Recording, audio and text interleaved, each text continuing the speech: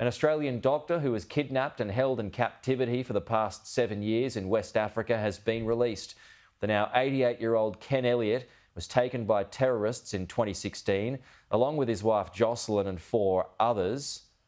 He'd been running a local hospital in the region since the 1970s. His wife was released the following month, but he was kept as hostage. The Department of Foreign Affairs released a statement this morning confirming he is now safe and has been reunited with his family. Well, that is good news.